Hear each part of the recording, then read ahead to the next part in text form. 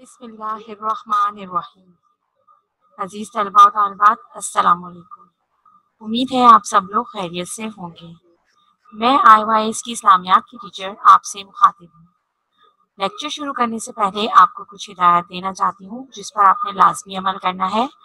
اپنی درسی کتاب، کاپی اور پینسل اپنے ساتھ رکھیں۔ تمام صفحات جو کہ اسکرین پر آپ کو شیئر ہوں گے، ان کے اسکرین شاٹس لے لیں اور اگر لیکچر کے حوالے سے کوئی بھی سوال ہو، تو آخر میں آپ کو موقع دیا جائے گا سوال کرنے کا، لیکن لیکچر کے دوران کوئی بھی ہینڈ ریس نہیں کرے گا۔ آج میں آپ کو جماعت ہفتم کی اسلامیات پڑھاؤں گی۔ اسلامیات میں آپ کے پاس چیپٹر حقوق العباد، جو کہ آپ کی کتاب کے صفحہ نمبر چوبیس میں موجود ہے، وہ پڑھایا جائے گا۔ آپ لوگ اپنی اپنی بک بھی اوپن کر لیں اور اسکرین پر بھی شیئر ہو رہا ہے، وہ بھی دیکھ لیجیے۔ عزیز طلبہ و طالبات حقوق دو طرح کے ہوتے ہیں۔ حقوق العباد اور حقوق اللہ حقوق اللہ حقوق اللہ سے کیا مراد؟ حقوق اللہ سے مراد خدا کے حقوق بندوں پر۔ یعنی اللہ تعالیٰ کے اپنے بندوں پر جو جو حقوق ہیں، وہ حقوق اللہ کہلاتے ہیں۔ کیا حقوق ہیں؟ یعنی اللہ تعالیٰ پر ایمان لانا اور کسی کو اس میں شریک نہ ماننا۔ جسے ہم عقید توحید بھی کہتے ہیں، وہ یہی ہے کہ اللہ تعالیٰ پر ایمان لانا اور کسی کو اس میں شریک نہ ماننا۔ اللہ کے بھیجے ہوئے پیغمبروں پر ایمان لانا اور ان کے بتائے ہوئے احکام پر عمل کرنا۔ اللہ تعالیٰ کی عبادت کرنا یعنی نماز، روزہ، حج، زکوٰۃ، یہ سب ارکان اسلام کی پابندی حقوق اللہ میں شمار ہوتے ہیں۔ اب دوسرا حقوق کیا ہے؟ حقوق العباد۔ حقوق العباد کے کیا معنی ہیں؟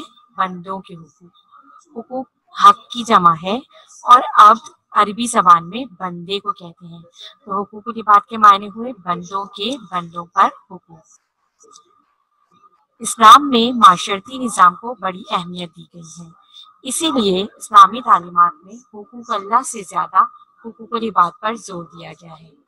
میدان حشر میں حقوق العباد کے متعلق ہی زیادہ پوچھ گچھ ہوگی۔ اس سلسلے میں معمولی سے معمولی غلطی بھی قابل معافی نہ ہوگی۔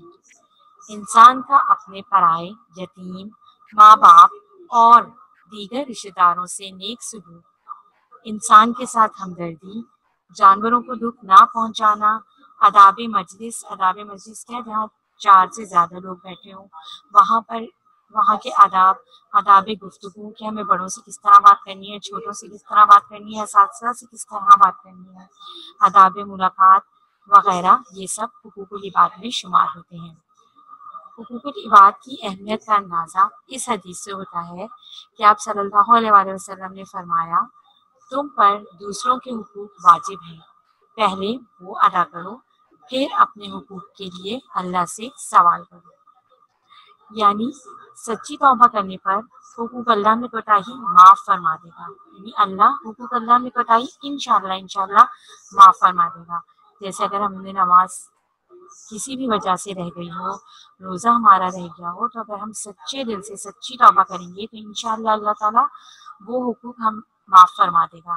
لیکن اگر ان گناہوں کا تعلق حقوق العباد سے ہے، مثلا کسی شخص کا سامان چرایا ہے یا کسی شخص کو کوئی تکلیف دی ہے، کسی شخص کو کوئی گالی دی ہے، اس پر جھوٹا الزام لگایا ہے، تو اس کی معافی کے لیے سب سے پہلے ضروری ہے کہ جس بندے کا ہمارے اوپر حق ہے اس کا حق ادا کریں یا اس سے حق معاف کروائیں۔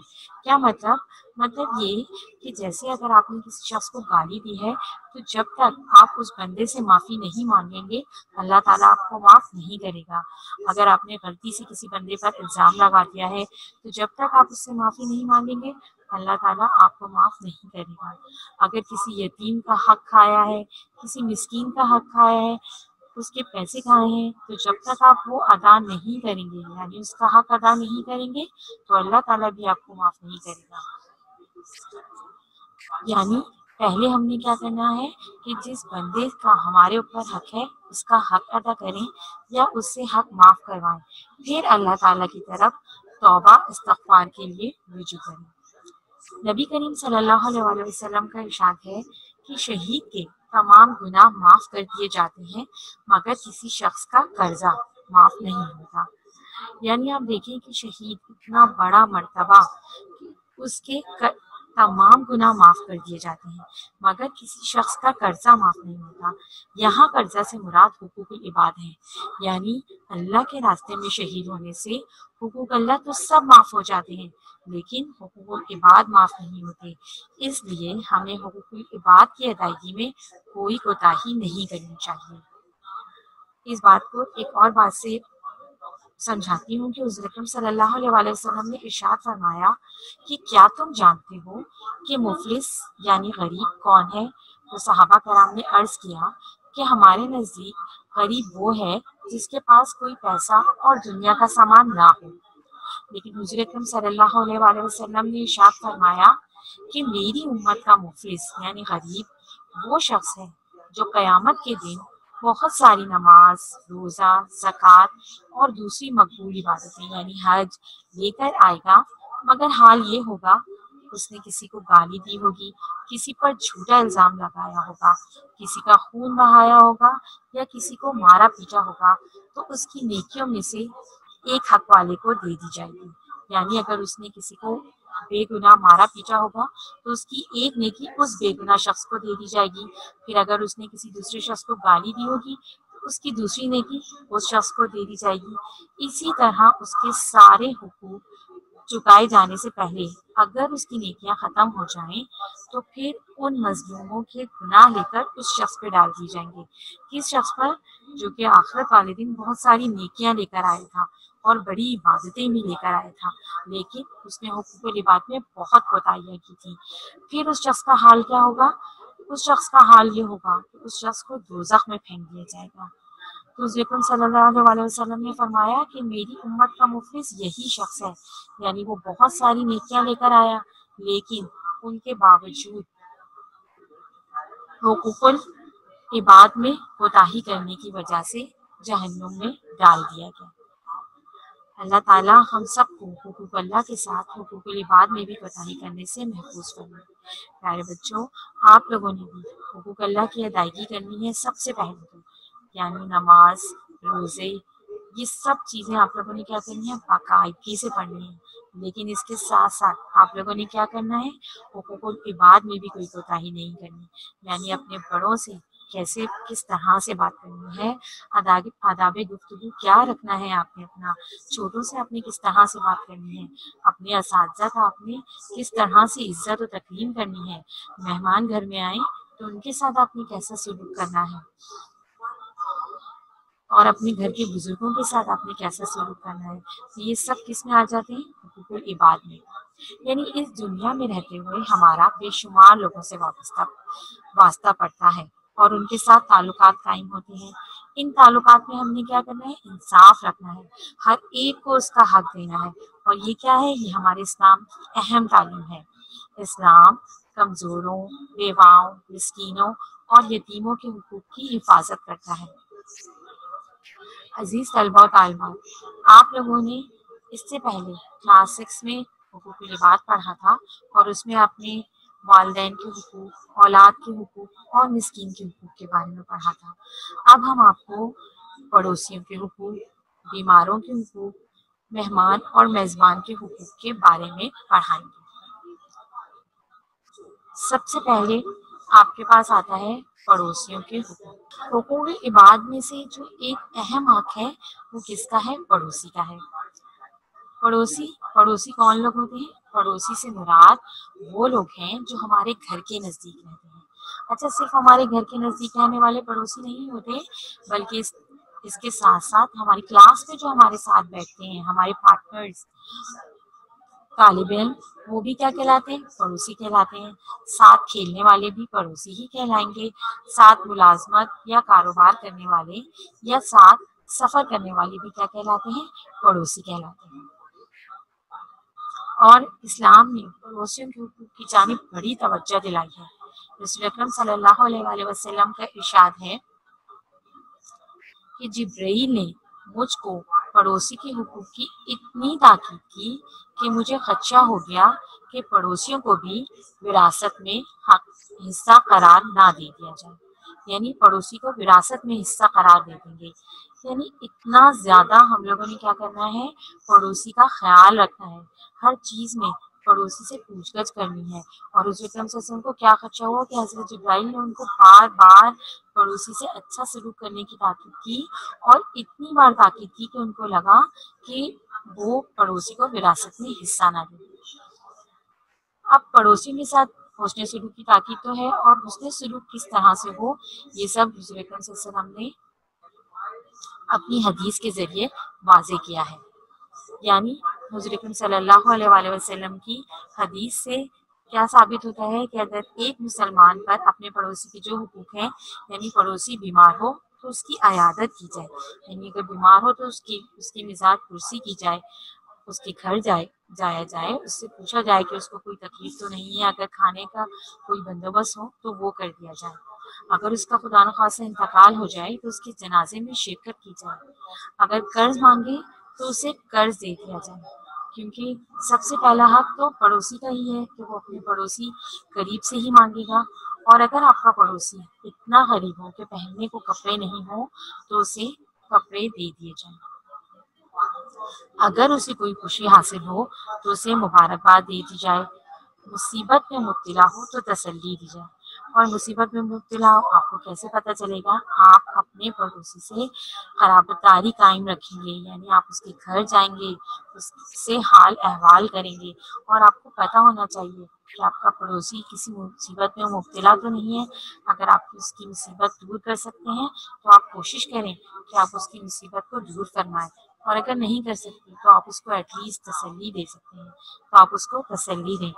اپنے مکان کو، اس کے مکان سے اونچا کر کے اسے ہوا سے محروم نہ کیا جائے۔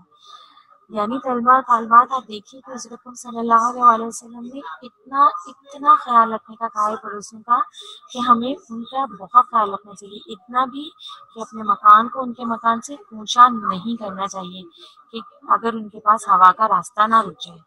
اور اپنے چولہے کی دھوئیں سے تکلیف نہ پہنچانی چاہیے یعنی ہمیں اپنے پڑوسیوں کو کسی بھی قسم کی کوئی تکلیف نہیں دینی چاہیے۔ اب ہم اپنی زندگی میں دیکھیں کہ کہیں ایسا تو نہیں کہ ہماری وجہ سے ہمارے پڑوسی جو ہیں وہ بہت مصیبت میں مبتلا ہیں۔ کہیں ایسا تو نہیں کہ ہمارے گھر کا دھواں ان کے گھر میں گرمی کرتا ہے۔ کہیں ایسا تو نہیں کہ ہم نے مکان اونچا بنایا ہوا ہے اور ان کو ہوا کا راستہ نہیں آ رہا۔ تو ہمیں کیا کرنا چاہیے؟ بہت زیادہ اپنے پڑوسیوں کو خیال رکھنا چاہیے۔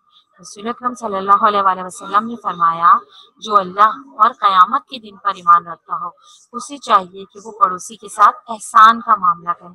یعنی ہمارے ایمان سے ہمارے پڑوسیوں کے تعلق کو بیان فرما دیا۔ یعنی اگر ہمارا، ہم اپنے پڑوسی کا خیال رکھیں گے، تو رسول صلی اللہ علیہ وسلم نے فرمایا، جو شخص خیال رکھے گا، اس کا ایمان بھی پورا ہوگا۔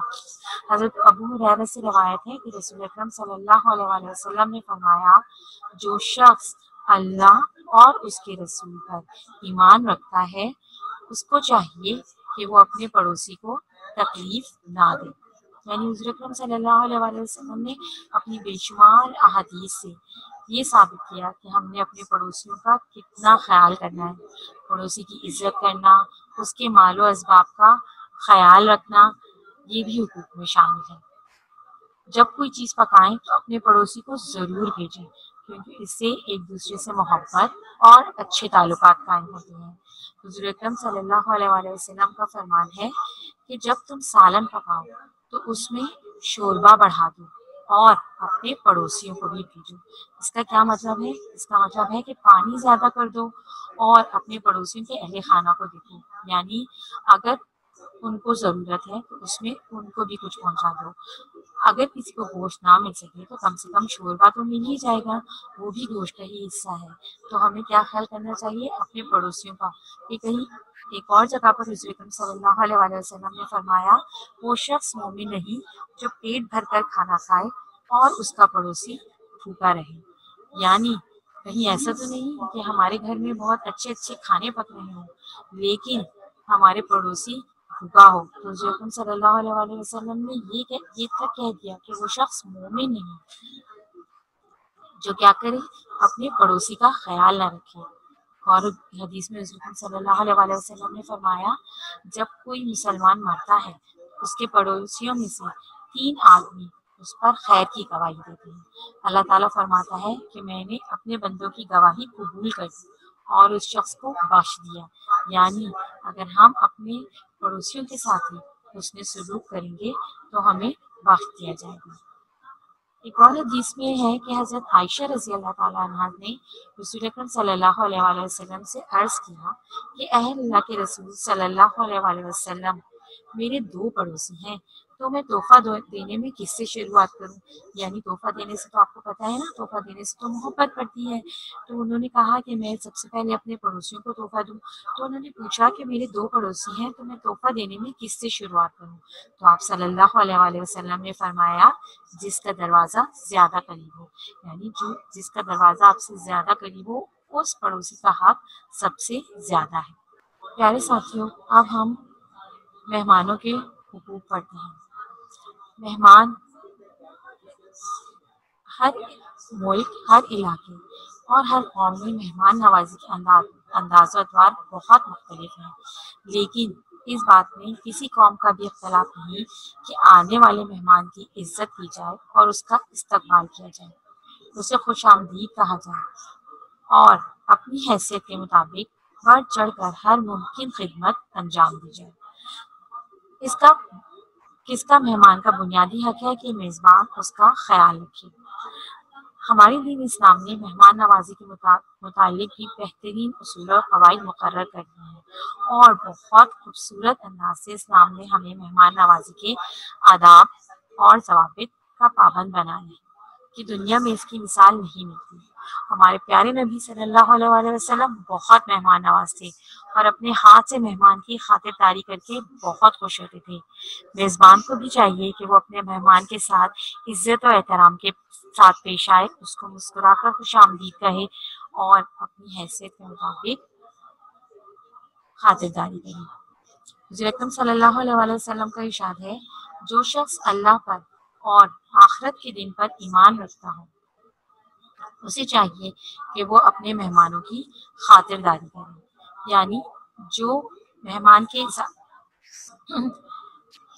مذہب، ہمارا مذہب اسلام مہمان کے اعزاز کا مقابلہ میزبان کی ایمان جیسی عظیم دولت سے کرے۔ یعنی کہا ہے کہ آخرت کے دن پر ایمان رکھتا ہو، وہ اپنے مہمان کا اکرام کرے۔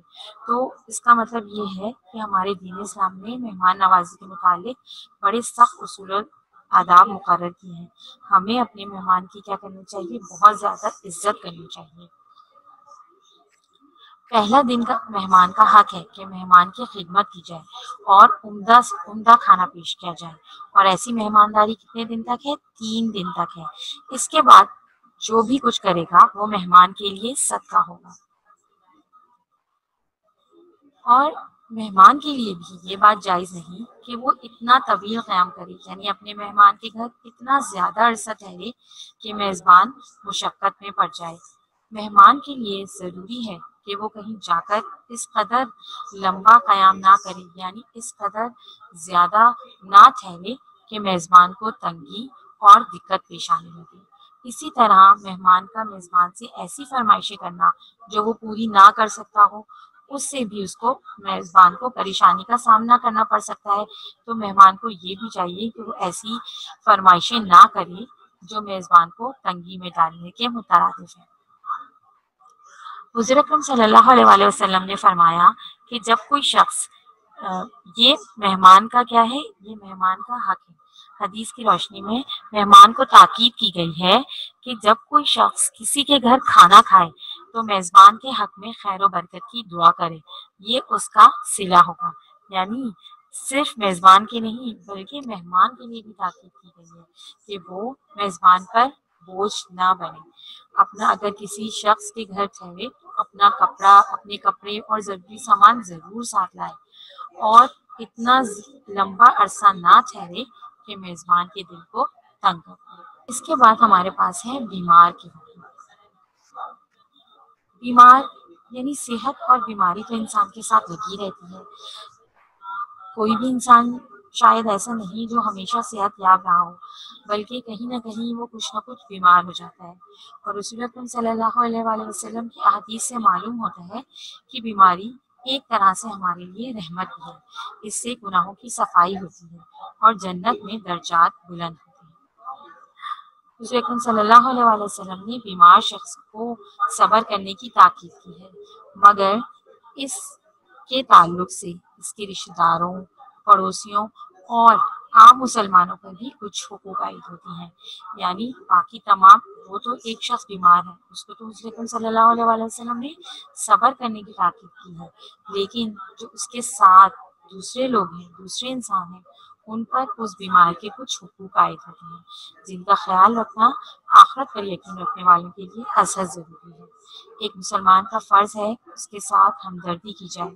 اگر پیسے کی کمی ہے اور اللہ نے آپ کو پیسے کی وسعت دی ہے یعنی آپ کے پاس اگر پیسہ ہے تو پیسوں کے ذریعے آپ اس کا آپ تعاون کر سکتے ہیں اس کے ساتھ۔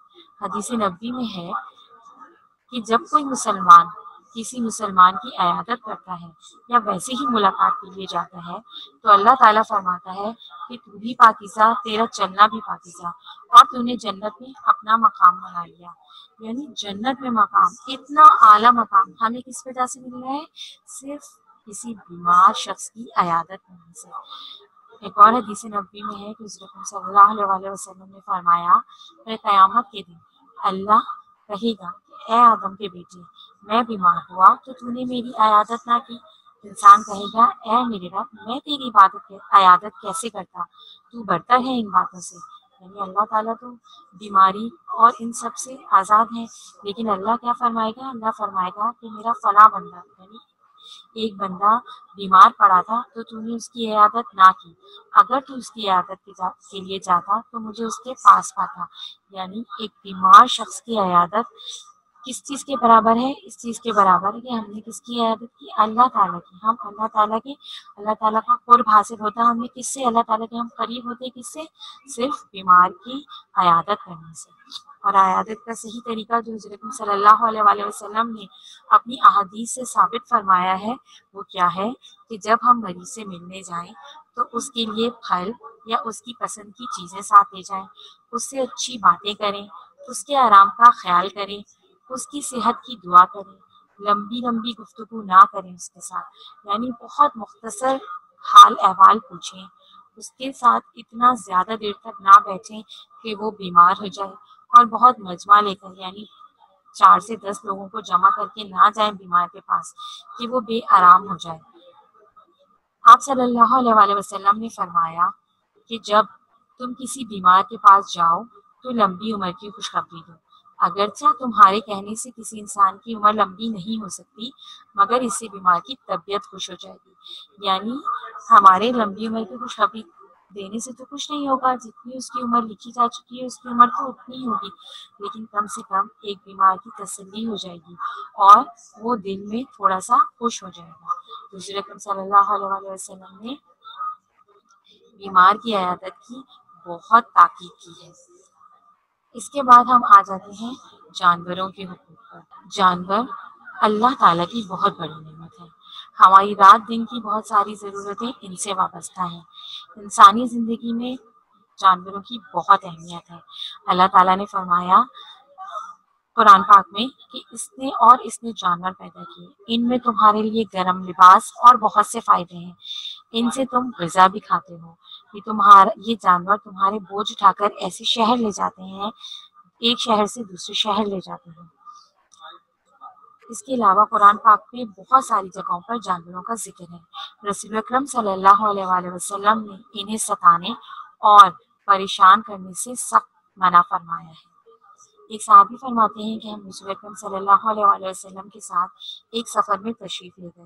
رسول اکرم صلی اللہ علیہ وسلم تھوڑی کام کے لیے دوسری جگہ تشریف لے گئے۔ اتنے میں ہم نے ایک سرخ پرندہ دیکھا، جس کے ساتھ اس کے دو بچے تھے۔ ہم نے ان بچوں کو پکڑ لیا۔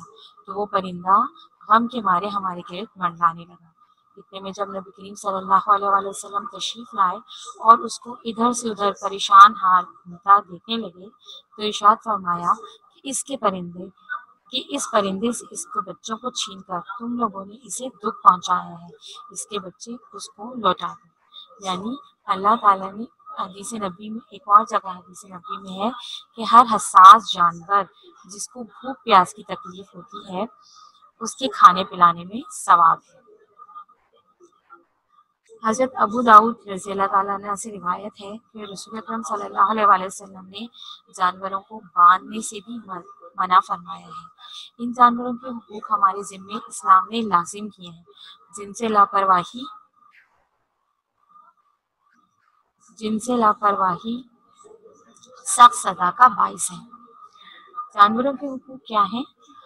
جانوروں کے حقوق یہ ہیں، سب سے بڑا جانوروں کا حق یہ ہے کہ ہم بے زبان جانوروں کو بھی کیا سمجھے اللہ کی مخلوق سمجھے ان کے ساتھ شفقت و نرمی اور رحم و کرم کا معاملہ کریں۔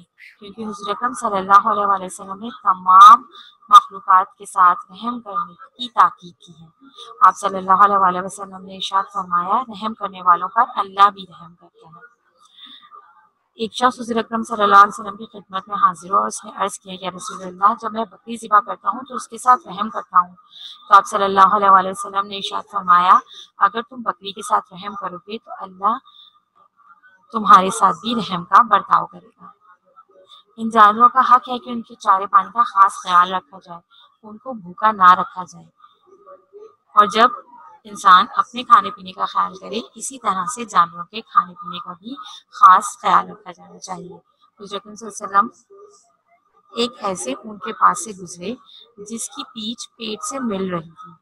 تو حضرت صلی اللہ علیہ وسلم نے اشاد فرمایا، ان بے جب زبان جانوروں کے بارے میں اللہ سے ڈرو، ان پر اچھی طرح سوار ہوا کرو اور انہیں اچھی طرح کھلایا کرو۔ ایک عورت کو بلی کی وجہ سے عذاب دیا گیا۔ وہ کیا کرتی تھی؟ بلی کو باندھ کر رکھتی تھی، اس کو کھانا پینا نہیں دیتی تھی اور اس کو عذاب بھی نہیں کرتی تھی۔ تو اس کو عذاب صرف اس بلی کی وجہ سے دے دیا گیا جو اس کا بالکل خیال نہیں رکھتی ہم ویسے تو جانوروں کا بہت خیال رکھتے ہیں، لیکن جب ذبح کرنے کا وقت آتا ہے تو بھی حضور اکرم صلی اللہ علیہ وسلم نے فرمایا کہ ان کے ساتھ پوری نرمی کا سلوک کیا جائے اور ذبح کرنے میں ایسا طریقہ اختیار کرنے کا حکم دیا جس سے ان کو تکلیف کم سے کم ہو۔ حضور اکرم صلی اللہ علیہ وسلم نے مختلف مواقع پر جانوروں کے حقوق کے بارے میں باتیں فرمائی کیا فرمایا؟ حضور اکرم صلی اللہ علیہ وسلم نے، حضور اکرم صلی اللہ علیہ وسلم نے فرمایا کہ اس بے زبان مخلوق کے بارے میں اللہ سے ڈرو، ان پر اچھی حالت میں سوار ہو اور اچھی حالت میں ان کو چھوڑو۔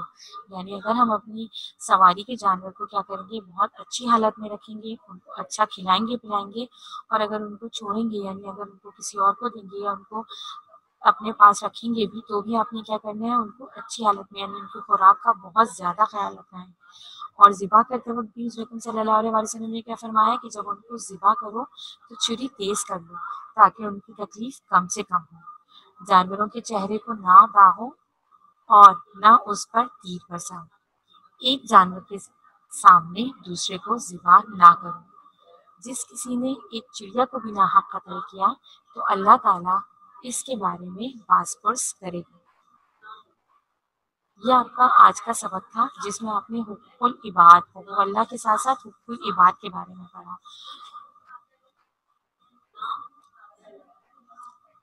تو ہم کیا کوشش کریں گے پیارے دوستوں ہمیں یہ کوشش کرنی چاہیے کہ ہم حقوق العباد میں کسی طرح سے کوتاہی نہ کریں۔ یعنی اللہ تعالیٰ حضور صلی اللہ علیہ وسلم کی حدیث سے ہمیں کیا ثابت ہوتا ہے کہ ہمارے ایمان کا تقاضا ہے کہ ہم نے کسی بھی طرح سے حقوق العباد میں کوئی تنگی اور کوئی کوتاہی نہیں کرنی یہاں تک آپ کا آج کا لیکچر کمپلیٹ ہوا۔ اب میں آپ سے گھر کا کام، گھر کا کام شیئر کر رہی ہوں۔ گھر کا کام، گھر کے کام میں آپ کے پاس مختلف سوالات ہیں جو کہ آپ نے کرنے ہیں۔ سوال نمبر ایک ہے، حدیث کی روح سے پڑوسیوں کے کیا حقوق ہیں؟ یعنی پڑوسیوں کے حقوق آپ نے بتانے ہیں اور حدیث حضرت صلی اللہ علیہ وسلم کی حدیث کو کوٹ کرنا ہے یہاں پر۔ نمبر دوسرا ہے کہ مہمان کو حدیث نبوی کے ذریعے کیا تاکید کی گئی ہے۔ نمبر تیسرا ہے کہ جانوروں کے حقوق کے بارے میں آپ صلی اللہ علیہ وآلہ وسلم نے کیا فرمایا۔ نمبر چار ہے کہ بیمار کی عیادت کا صحیح طریقہ کیا ہے۔ یہ تمام سوالات آپ نے گھر سے کرنے ہیں۔ اور اس کے ساتھ آپ لوگوں کا لیکچر بھی کمپلیٹ ہوا۔ اللہ حافظ، اپنا بہت خیال رکھیے گا۔